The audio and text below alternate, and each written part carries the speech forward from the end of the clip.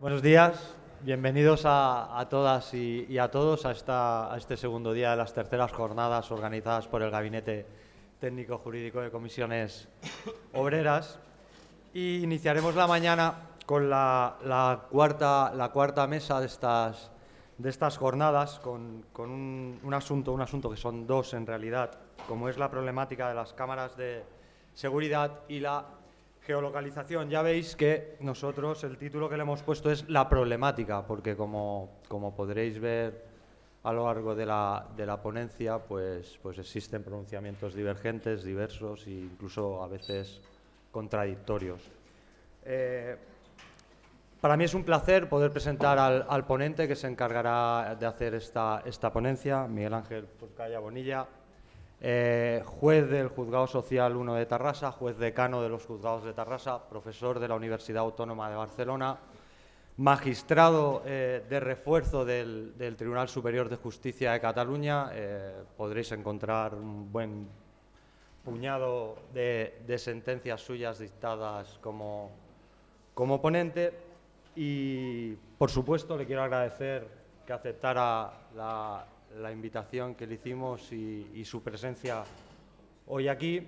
Y, nada más, eh, no, quiero robarle más tiempo.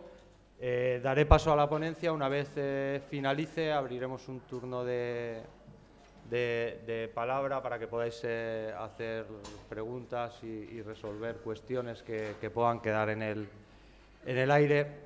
Y luego ya haremos una pausa para, para el café antes de empezar la, la siguiente la siguiente mesa. Sin nada más, señoría, todo suyo. Muy bien. Muchas gracias, señor letrado. Manuel Blas, un placer. Jonathan, igualmente agradecer públicamente la, invitación, la generosa invitación. Teniendo en cuenta el, el plantel que habéis conseguido reunir de ponentes, las materias variadas, de actualidad. Claro, eh, cuando uno está en este tipo de foros, lo primero que comenta, y hoy le transmitía esta idea a Jonathan y a Manuel Blas, es la necesidad no solo de análisis de problemática y de soluciones que se han dado, que es básico, sino también si podemos dar un paso cualitativo más, es decir, poner de relieve mm, puntos de vista judiciales, aspectos prácticos, ah, que no siempre son incontrovertidos, señalar los puntos fuertes y débiles de cada uno de esos posicionamientos. Pero es que además, además, hay algo que en el contexto de la Unión Europea quizás no debemos ignorar, que es el ejemplo del derecho comparado. A veces se utiliza el derecho comparado como un simple ejercicio de esnovismo de conocimiento jurídico. No va a ser el caso de hoy. Sencillamente veremos que, por ejemplo, y seleccioné únicamente geolocalización, porque de videovigilancia ya hay jurisprudencia, como conocéis, del Tribunal Europeo de Derechos Humanos, el asunto López Rivalda, episodio 2, igual que pasó con Barbulescu, evidentemente. Ah, en la geolocalización resulta que hay por ir en lugares cercanos. Hay regulación en otros países, eh, en concreto he seleccionado aleatoriamente Francia e Italia por la proximidad geográfica, pero sobre todo y principal por la distinción en la regulación respecto a nuestra reciente, en principio, ley de diciembre de 2018. La ley de, diciembre de 2018 aborda las dos cuestiones que hoy vamos a ver. En mi opinión, de modo insuficiente, en mi opinión, con algunas aristas interpretativas, como el concepto de acto ilícito que permite la conservación de datos grabados por cámaras, y otras cuestiones que quizás si aprendiéramos un poco del derecho comparado, insisto, y no por esnovismo, sino por realidad aplicativa y por saber un poco qué hacen los demás, que a veces es bueno no mirarse solo el ombligo jurídico, sino mirar otras experiencias, posiblemente nuestra normativa mejoraría. Dicho lo cual, Vamos a ver, videovigilancia y geolocalización son dos conceptos que cualquiera de vosotros puede perfectamente asimilar, aprender y conocer. Otra cuestión es que se mueven en un contexto en el que la tecnología, de ahí esa pequeña licencia de la profecía de George Orwell, el, control del gran hermano, parece que la empresa es un lugar en el que, aunque Constitucional dijo que una vez uno cruza el umbral, lo dijo en el año 85, no pierde sus derechos, tampoco los fundamentales, por supuesto. Sin embargo, la realidad tecnológica cada vez está más ah, afectando, especialmente la intimidad. Si se quiere, se habla de la protección de datos. Bien, no deja de ser una cuestión conexa a la intimidad, en una vertiente tecnológica pura y dura. El uso, la utilización, la cancelación, la rectificación de esos datos. Pero sobre todo y principal, la intimidad es poliédrica y también lo es en la empresa. El que te graben en una cámara, el que te rastreen 24 horas al día, incluido un fin de semana, con esos formatos diversos de geolocalización que veremos. Incluso alguno tecnológicamente avanzado, Hoy eh, no es un divertimento, es una realidad. Hay una tecnología sueca que permite incluso implantar microchips en la palma de la mano, entre el índice y el pulgar, y que permite rastrear, cual si fuera una película de Star Wars, aquello de que la fuerza te acompaña y abres puerta y fotocopiadoras y ordenadores, que se probó experimentalmente en Wisconsin, en Estados Unidos, por parte de una empresa y 50 empleados voluntariamente, voluntariamente, el consentimiento informado, eh, se aprestaron a formar parte. Dudas razonables las veremos. ¿Qué pasa cuando uno ya no está en la empresa? Igual que te ponen el chip, te lo tienen que quitar. Te puedes quedar el chip diciendo este chip es mío. Vamos a ver eh, efectivamente cómo funciona esto. ¿De acuerdo? A estas horas de la mañana yo creo que un poco de digresión uh, intelectual es interesante. Vamos a la materia. Claro, si uno ve nuestro Estatuto de los Trabajadores, empezamos por el nivel micro, lo primero que percibe es que la Ley 3-2018 ya hizo la primera modificación de calado sobre esa materia. El artículo 20 bis, que conocéis holgadamente y sobradamente, eh, reconoce el derecho a la intimidad del trabajador público o privado, lo cual no es ocioso y ya era hora que una norma eh, lo dijera con suma claridad para que no parezca que siga habiendo compartimentos estancos en materias que no tienen razón de ser, derecho a, la intimidad frente al uso de dispositivos.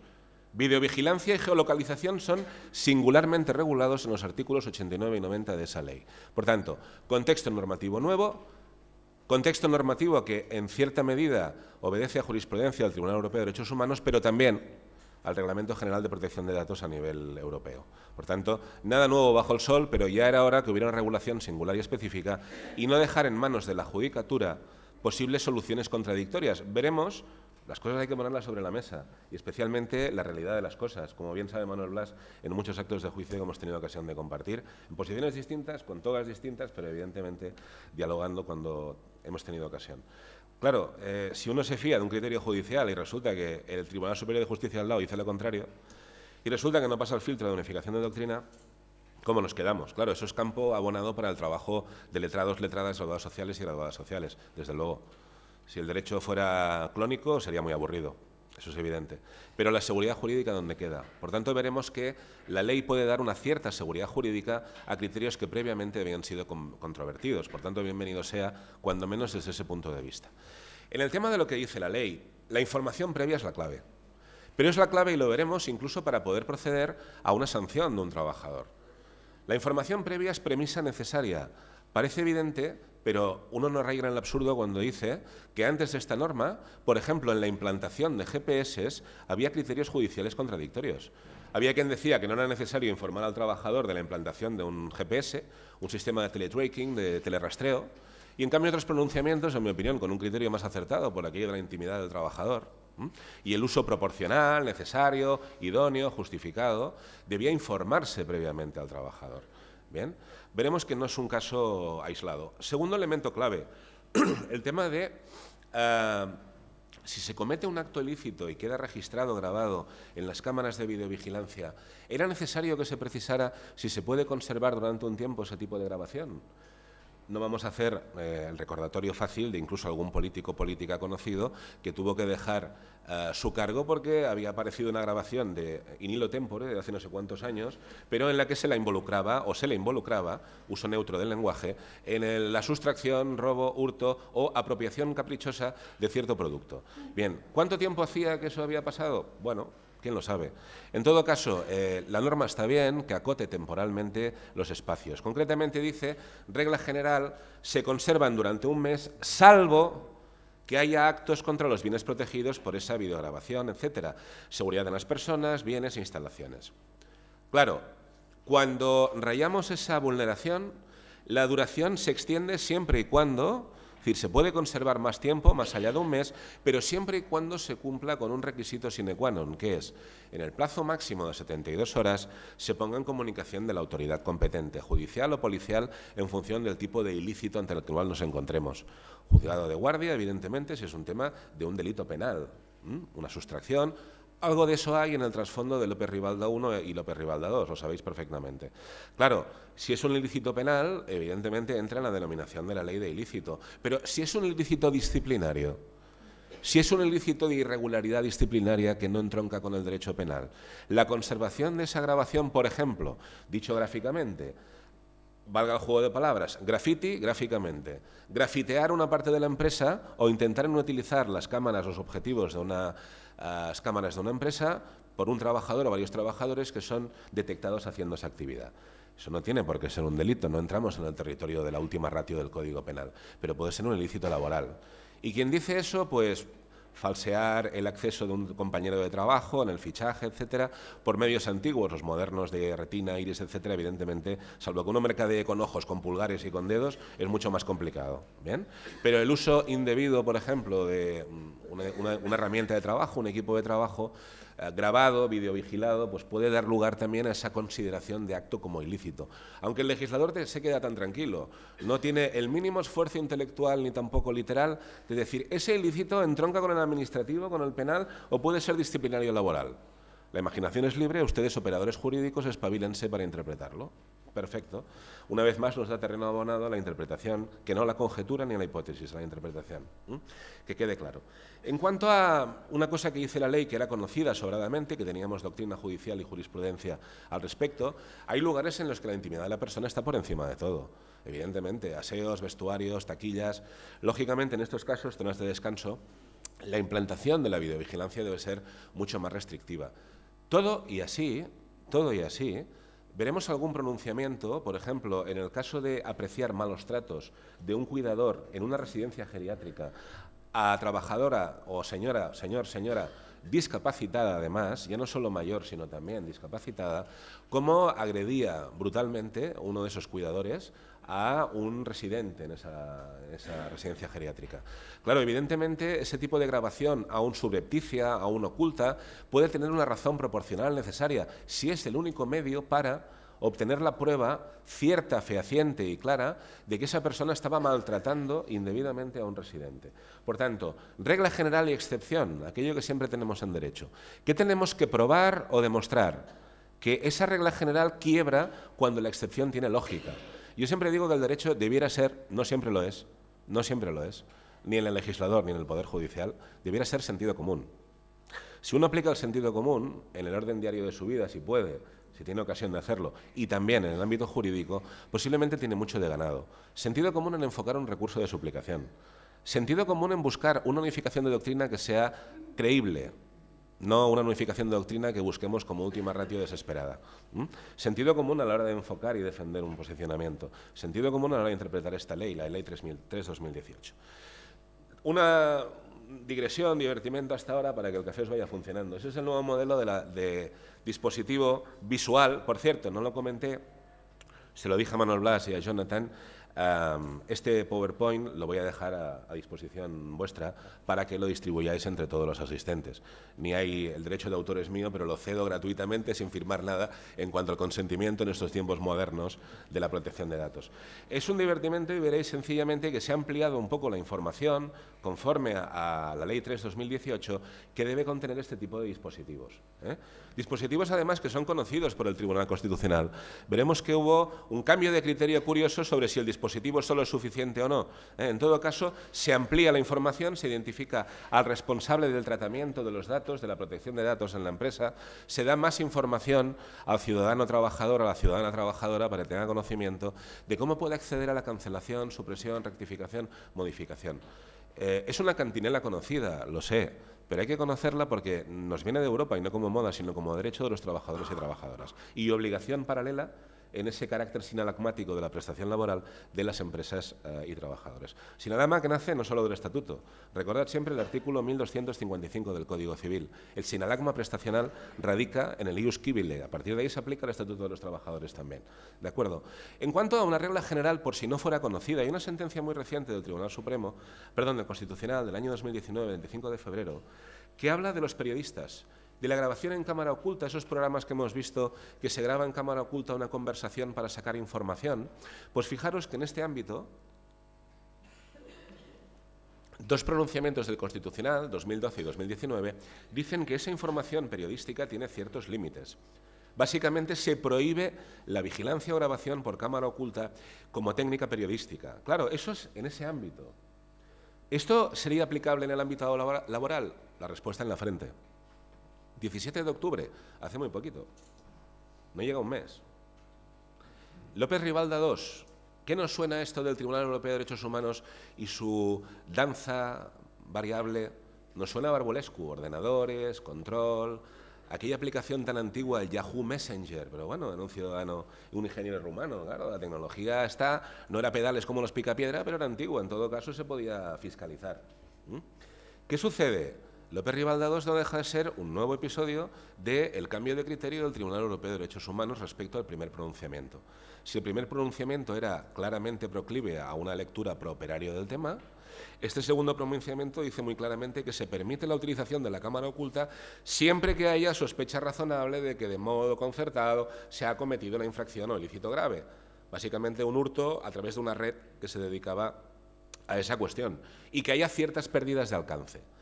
Claro, el cambio de criterio es sorprendente porque, eh, aunque en aquel pronunciamiento el Tribunal Europeo no pudo hacer nada en cuanto a la calificación del despido como procedente, porque había testificales que en otro sentido habían abonado esa calificación jurídica, lo cierto es que, y aun siendo estas horas de la mañana, lo recuerdo, me llamó mucho la atención eh, el rigor con el que esa primera sentencia se pronunció en cuanto a los límites aplicativos de la videovigilancia.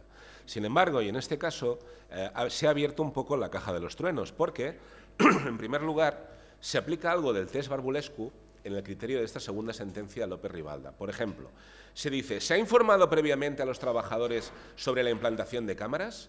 En este caso, López Rivalda sabían que había cámaras, pero no donde las habían ponido, para, donde, las habían puesto, pusat, he hecho una catalanada, no donde las habían puesto para uh, localizar el problema. De tant en tant em passa que faig catalanadas, ¿eh? usted lo sabe también, es normal. ¿no? Uh, ¿Qué sucede? Claro, mmm, no poner unas cámaras es una cosa, ponerlas y no informar es otra. Había unas cámaras de las que los trabajadores tenían conocimiento, pero de estas no. López Rivalda 1 dijo que eso no era posible, López Rivalda 2 dice que eso es posible. Tan sencillo como eso. Claro, además se dice, ¿había medios menos intrusivos para conseguir el mismo objetivo?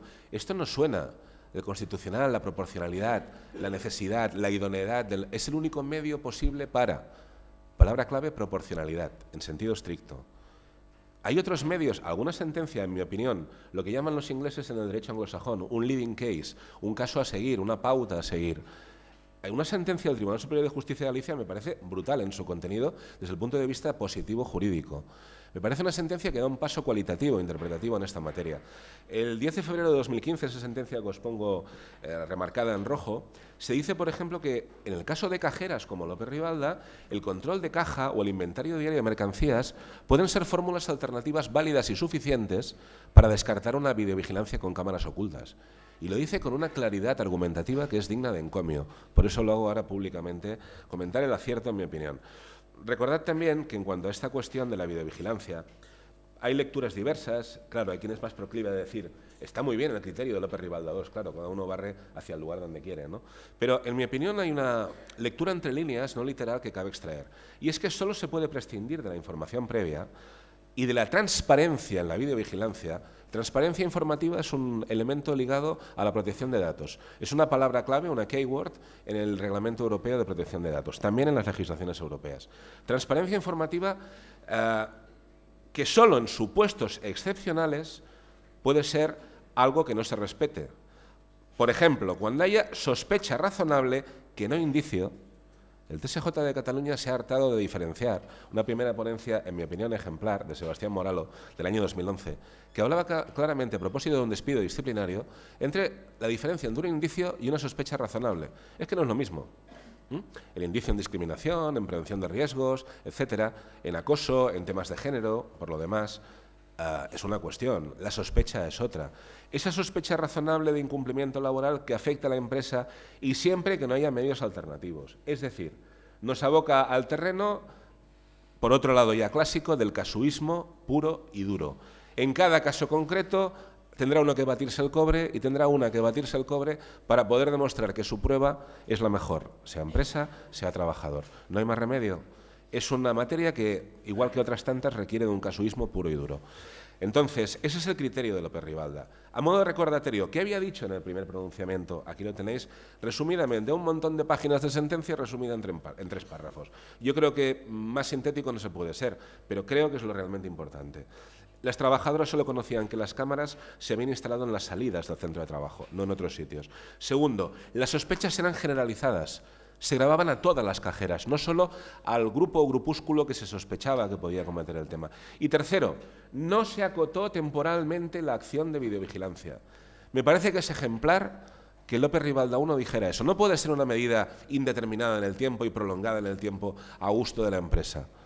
Esos parámetros se han ignorado en López Rivalda 2 no se han tenido en cuenta. Bueno, es una posibilidad. La Sala General del Tribunal Europeo de Derechos Humanos está para resolver el recurso que en el plazo de tres meses se puede, interponer contra una de las secciones del Tribunal Europeo de Derechos Humanos. Nos pasó con Barbulescu, nos pasa ahora con López Rivalda. Tampoco hay que sorprenderse. Tampoco hay que sorprenderse. Otra cosa es la aplicación de esta normativa y de esta jurisprudencia. Recordatorio rápido. Constitucional, año 2013. Ponente Valdés Dalre. Las cosas por su nombre y como son. Claramente se dice, hay que informar al trabajador, a sus representantes en su caso, hay que poner dispositivos y la medida debe ser necesaria, proporcional. 2013, 2016, ese punto es como una nube por aquello de mm, me llama la atención especialmente. Donde dije digo, digo Diego, mismo tribunal. Ponente distinto, Pérez de los Cobos, nombre y apellidos. No hace falta informar previamente, de estos polvos, estos lodos, porque a eso se han agarrado muchas sentencias de suplicación, lo veremos. Cataluña en 2012, pero luego después la extraña pareja no solo es Cataluña constitucional, viene añadida. El efecto dominó, ese que nos gusta tanto cuando vemos artesanos que hacen unas maravillosas construcciones con dominó que dices, madre mía, ladrones que se han pegado como se tumba rápido. Las sentencias también parece eso, ¿no? A veces. No hace falta más que eh, el panel distintivo, el cartel amarillo y negro, por cierto, es un pictograma porque la combinación de amarillo y negro, igual que el rojo y el blanco, como lo sabéis los que conocéis temas de salud laboral, es ideal para la vista.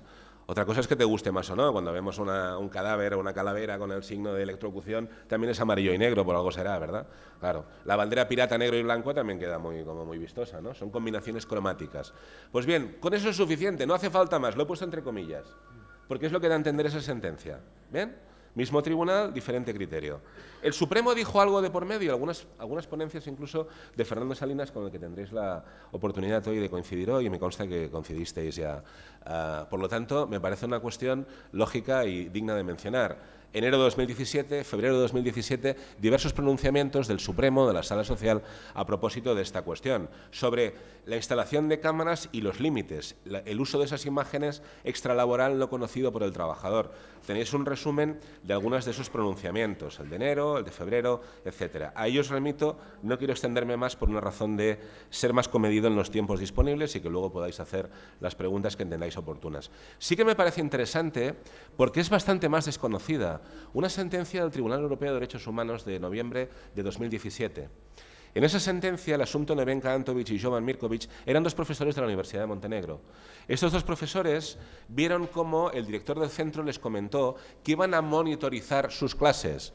Compañeros como Albert Pastor, que sabe perfectamente, o como Jonathan, que también, aunque part-time, pero también se dedica a la docencia, entre otros, eh, sabéis perfectamente que eso de que nos graben en clase mientras damos una, una, charla, una conferencia, una sesión, hombre, pues no es todo lo agradable que uno podía desear, porque no es que te coarte lo que puedas decir, pero dices, hombre, que es finalidad publicitaria para luego colgarlo en la web, como una clase pseudo magistral o no, o una clase patética de lo que no debe ser una clase, no lo sé, ahí ya va gustos y a colores, ¿no?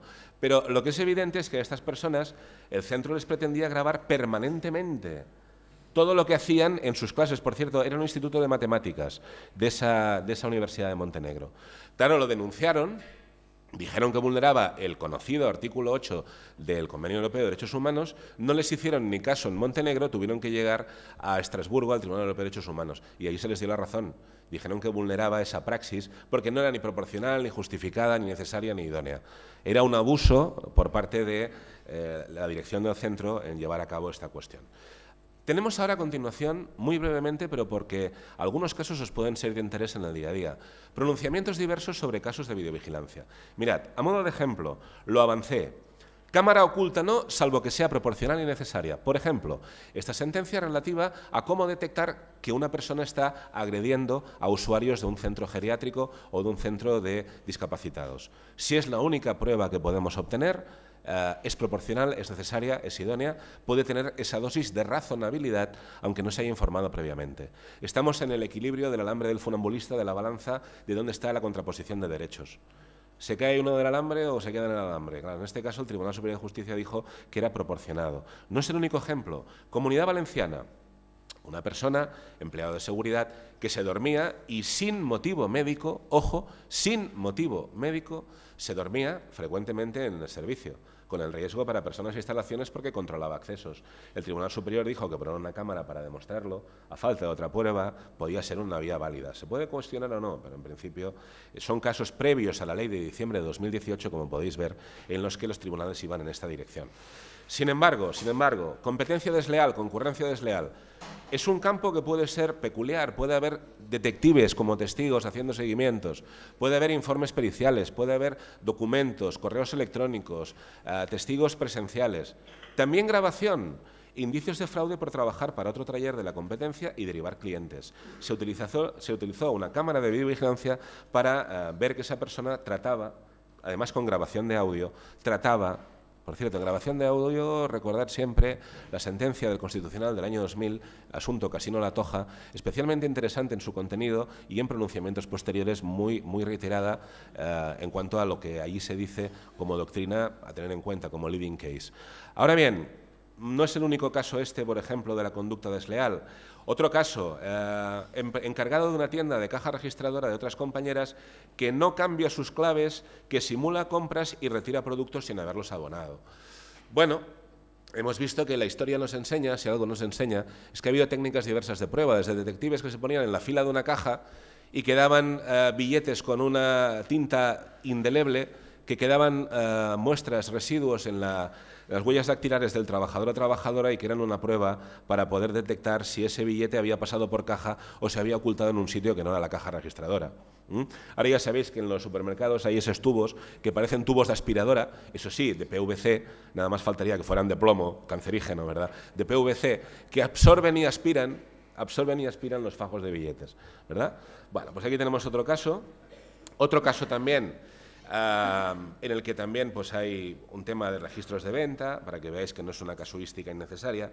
Ahora bien, Ley 3-2018 y su escenario. ¿Hacia dónde vamos? ¿De dónde venimos? Ya lo hemos visto. Inexistencia de marco legal, criterios judiciales, jurisprudenciales, constitucional, supremo, TSJ sobre la videovigilancia. ¿Hacia dónde vamos? Sentencias muy recientes, estamos en Cataluña, por eso las he seleccionado, del Tribunal Superior de Justicia de Cataluña, 2019 todas ellas. La clave para validar un despido es la información previa al trabajador, en sintonía y en sincronía con lo que marca la ley de diciembre de 2018. Claro, muchas veces estos pronunciamientos, por razón a priori in tempore, poteri in jure, tienen que remitirse a esa ley obiter dicta, porque en el momento en que se producen los hechos enjuiciados que llegan a su aplicación, lógicamente todavía no había entrado en vigor la Ley 3-2018. La utilizan como argumento a mayor abundamiento, que decís en muchos escritos todavía, esa expresión conocida. Bien, se utiliza como relleno, como complemento interpretativo. De momento todavía no como ratio decidendi, pero sí como obiter dicta en cuanto al pronunciamiento. Casos muy recientes. La primera sentencia creo que es Sara Pose, la ponente. La segunda que veremos es Felipe Soler, compañeros del Tribunal Superior. Despidos nulos en ambos casos.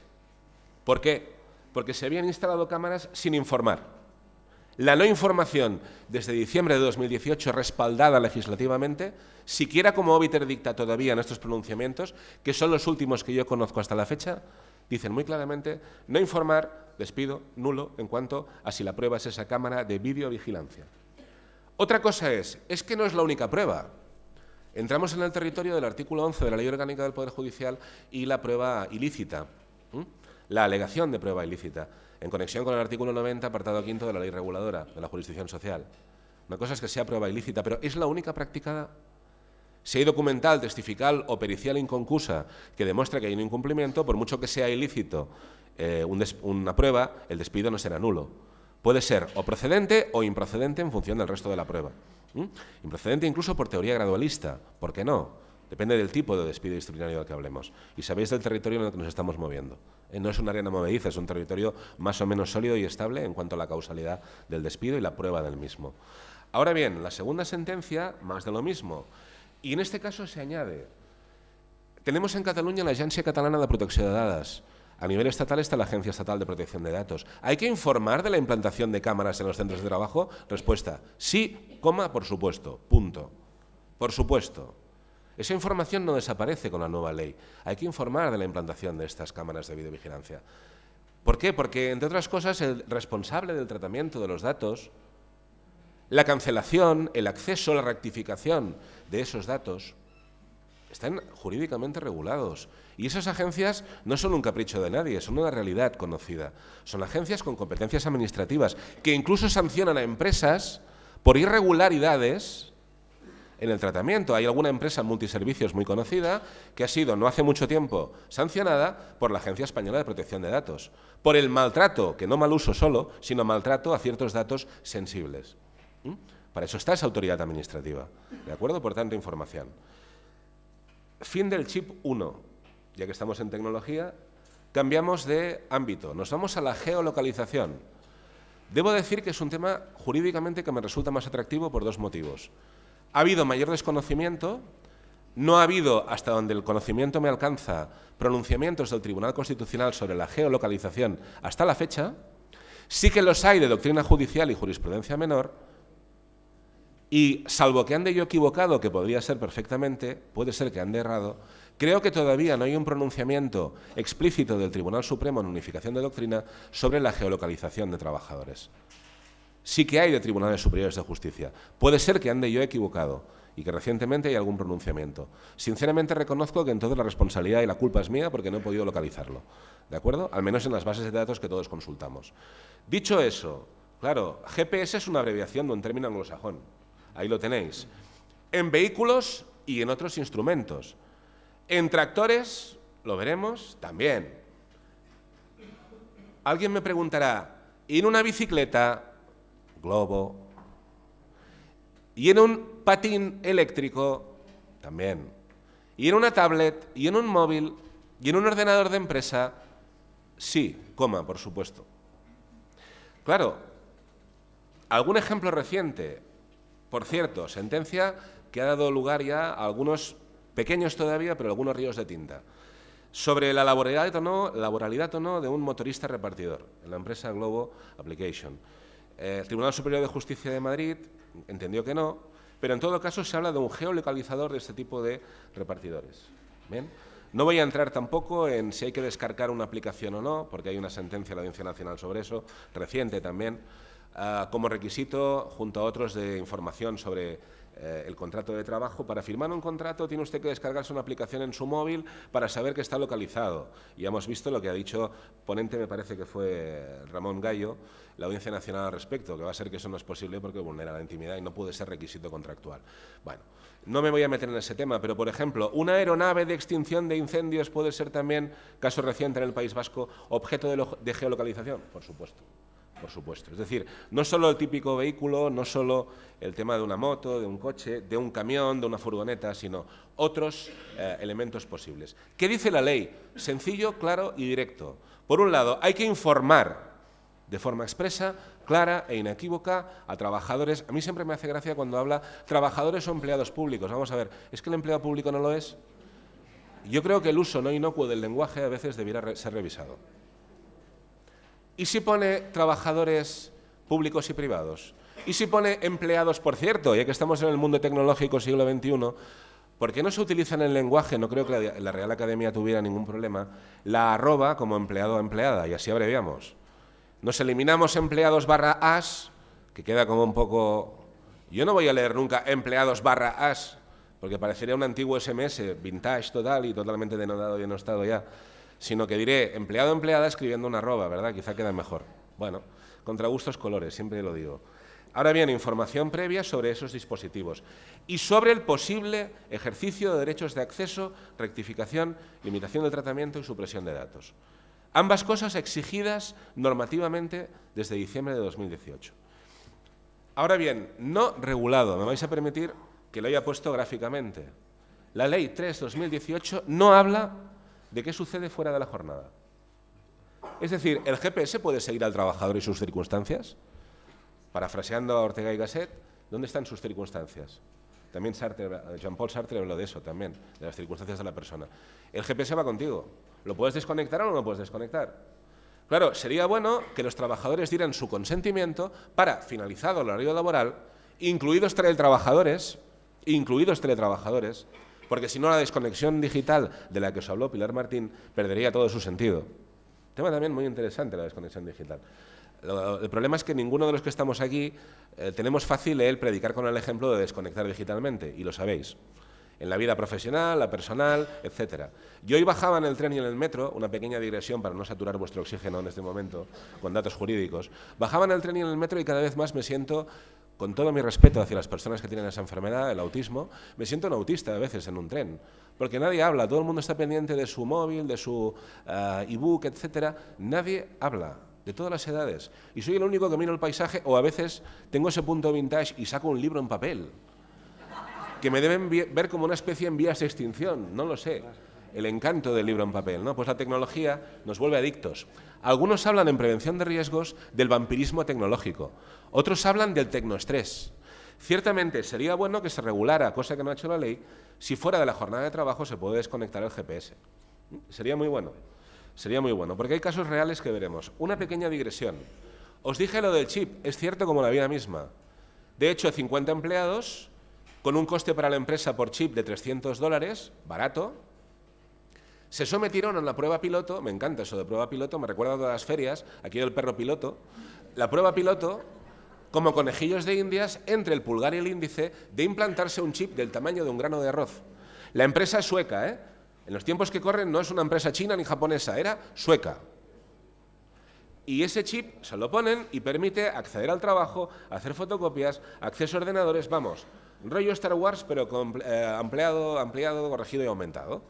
No es una cuestión de fuerza, es una cuestión de chip. ¿Qué sucede? Se lleva 24 horas, 365 días al año, y si no se garantiza que la empresa desconecte el seguimiento, siguen contigo 24 horas al día.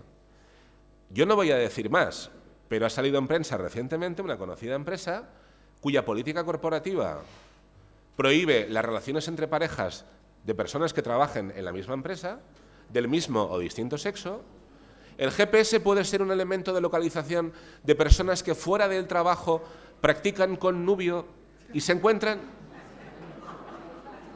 Claro, ¿cuál es el tema? ¿Hasta qué punto el GPS puede rastrear conductas privadas de la persona? ¿Ven? Ahí lo dejo, que dice la frase actual. ¿no? Audiencia Nacional, 6 de febrero de 2019. Los riders, eso de que se implante un sistema de control de la ruta elegida, tal, tal, y datos de localización, debe ser una medida proporcional, no caprichosa ni siempre y en cualquier caso y circunstancia. Vale la pena que echéis un vistazo a esa sentencia, sinceramente.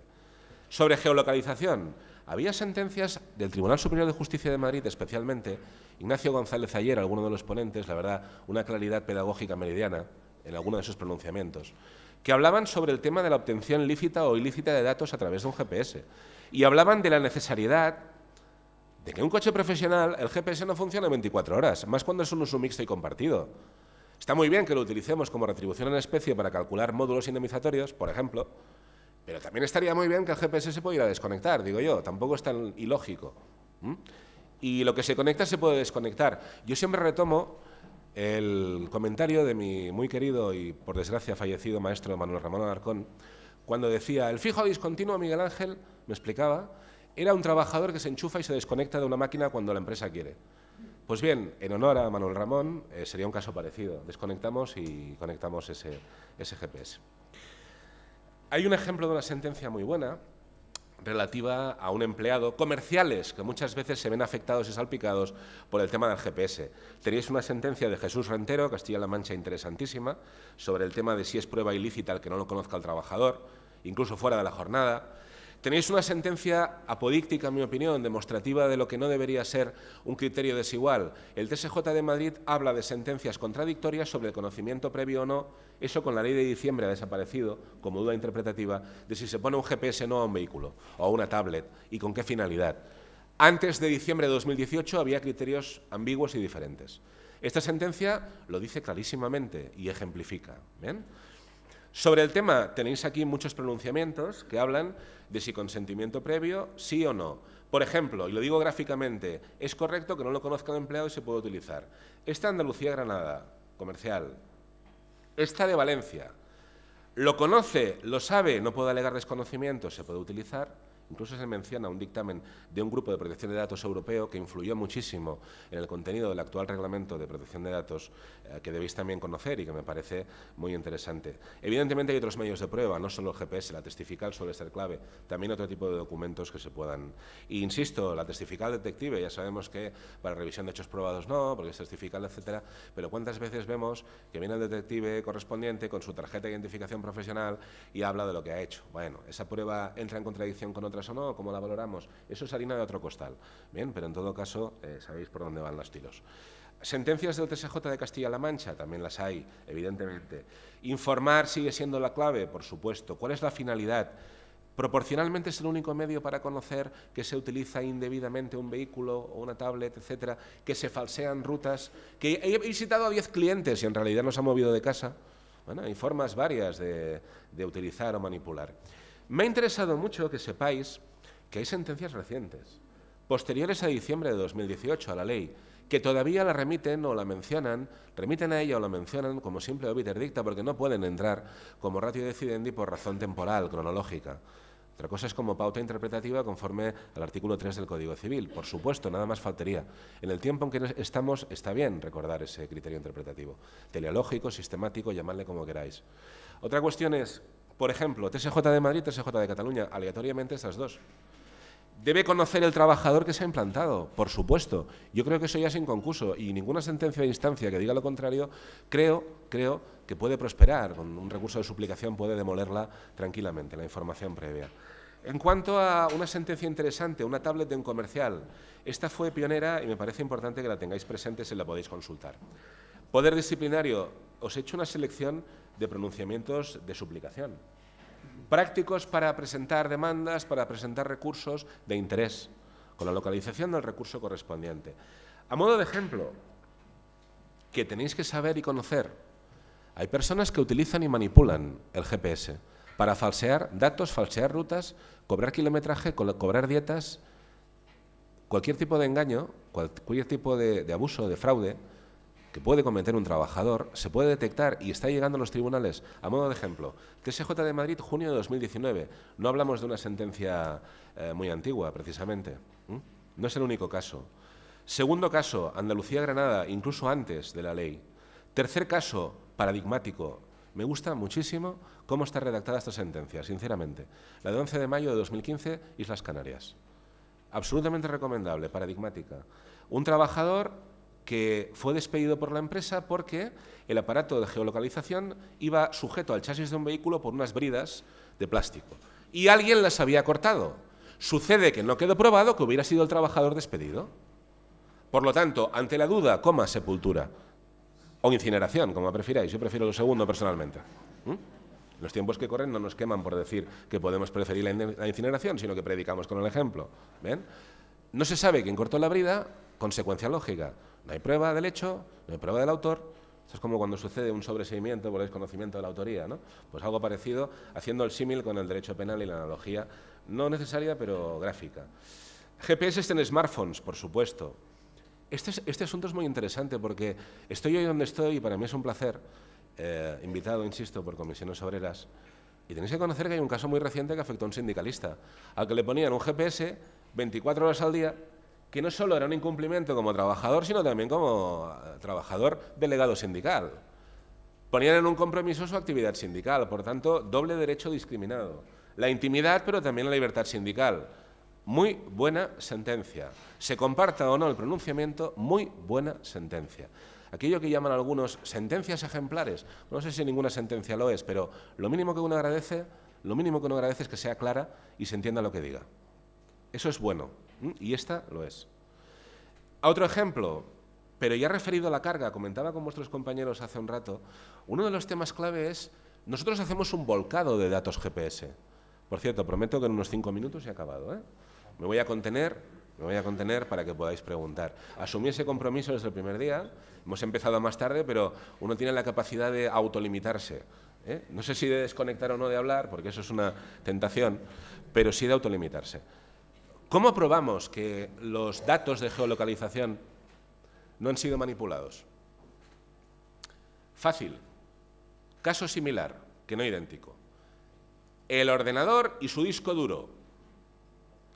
Métodos de prueba pericial con notario de por medio, con logaritmos, con logaritmos aritméticos, el código hash, no el hashtag, ¿eh? que eso es de Twitter. El código hash, logaritmos alfanuméricos, informática, siglo XXI, bienvenidos al mundo real. Si no sabes informática, eres tan analfabeto como no saber algún idioma hoy en día, ya lo sabéis. Y garantía de no manipulación a través de esos métodos.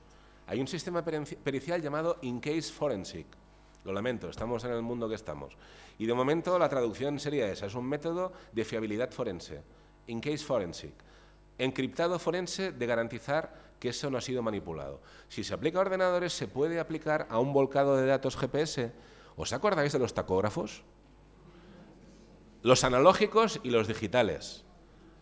Que muchos tribunales superiores dijeron, los tacómetros, si no se acompañan de prueba digital, esta sala no dispone de los medios para poder interpretarlos.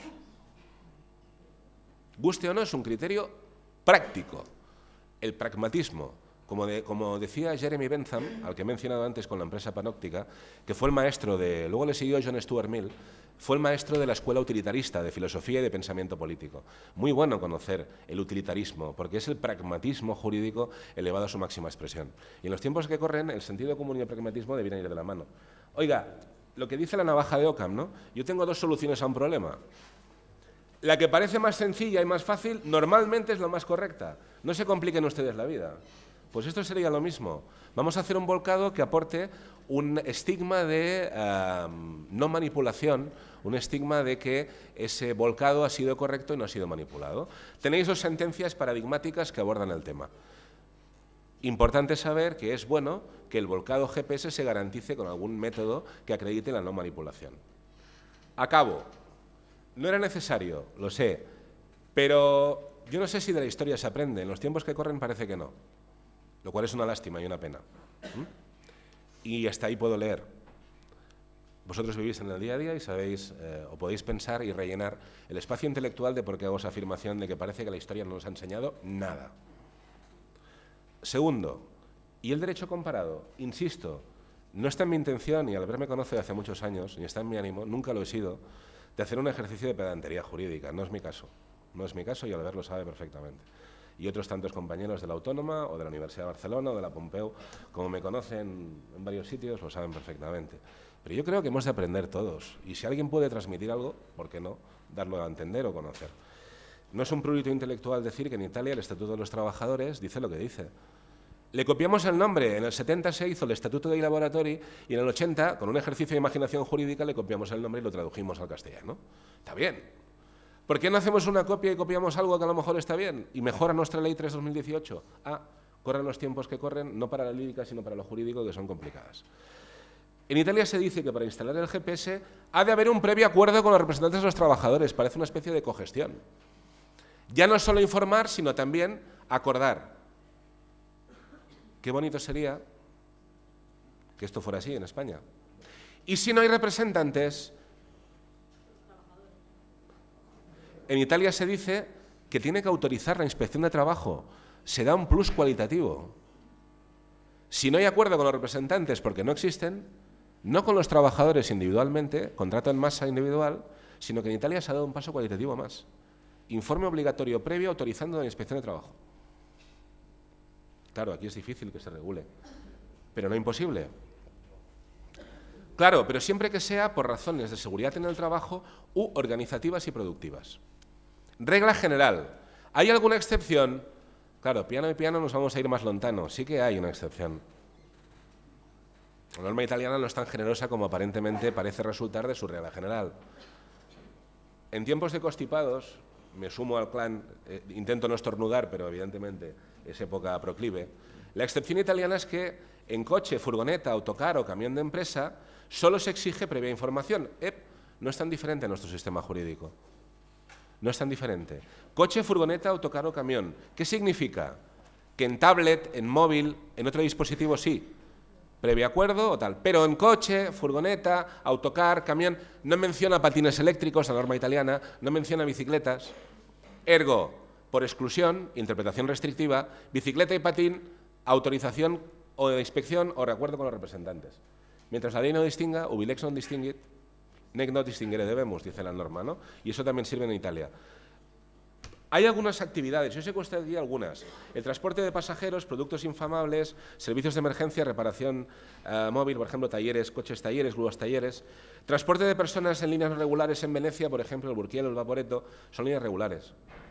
En esos casos en Italia basta con informar. Pero de momento, bicicletas y monopatines o patines eléctricos, parece que debes acordarlo previamente. En Italia, la norma que lo regula del año 2017, dice que hay un derecho a desconectar provedimentos de expresión italiana que equivale a una orden ministerial de aquí. ¿Bien? En el 2017 se dice que fuera del horario laboral, salvo profesiones singulares, hay derecho a desconectar. Hubo una sentencia del equivalente a nuestro Tribunal Supremo, la Corte de Cassazione, del año 2016, que abundó en esa dirección de la necesidad de información y, sobre todo y principal, la posibilidad de desconectar. De desconectar el, GPS. Nuestra norma no lo dice, en Italia sí se dice que hay un derecho a desconectar el GPS en estos casos. Aquí tenéis algunos, algunos ejemplos de norma italiana. Y acabo. Caso francés. ¿Hay regulación también? Sorprendente. Solo se admite GPS en vehículos y por razones bien de seguridad y salud bien de localización necesaria por el tipo de prestación. Talleres móviles de reparación, urgencias, taxis. Pero no puede implantarse sistema francés, código de trabajo, para controlar a empleados con libertad para fijar sus rutas, visitadores médicos, vendedores ambulantes, comerciales, representantes. Ámbito mucho más restrictivo del uso de GPS en Francia que aquí. Ejemplos. Casación social, nuestro Supremo, año 2014, año 2011, Primer caso, debe poder desconectar el GPS en el tiempo de pausa. Segundo caso, información previa obligada, no solo sobre la implantación, sino también con qué finalidad. Tenéis que conocer que hay un equivalente en Francia, nuestra Agencia de Protección de Datos, esta es la denominación, la Comisión Nacional de Informática y de Libertades. Última diapositiva, como dicen los ingleses, last but not least. Es importante también, aunque sea la última. Primero, un ejemplo de una sentencia de apelación que equivaldría a nuestro Tribunal Superior de Justicia. Año 2012. El GPS instalado en un vehículo profesional de un empleado debe poderse, no ha de, debe poderse, obligación imperativo categórico, desconectar por ese empleado mientras realiza funciones sindicales. Bienvenido y no es un brindis al sol. Es una forma de garantizar el libre ejercicio sindical y la presunción iuristantum, desde luego, de que no se abusa ni del crédito sindical, ni de la tarea sindical, ni de la actividad. Último, hay una resolución de esta Agencia de Protección de Datos, igual que tenemos en España alguna resolución de la Agencia Española de Protección de Datos, del año 2008 sobre todo, sobre el tema del dispositivo, de videovigilancia, sobre la señalización, etc. En Francia, en Francia eh, hay esta recomendación muy interesante que ha sido aplicada por los tribunales eh, de justicia sobre características y condiciones de puesta en disposición de dispositivos de geolocalización en vehículos utilizados por los trabajadores de un organismo privado o público.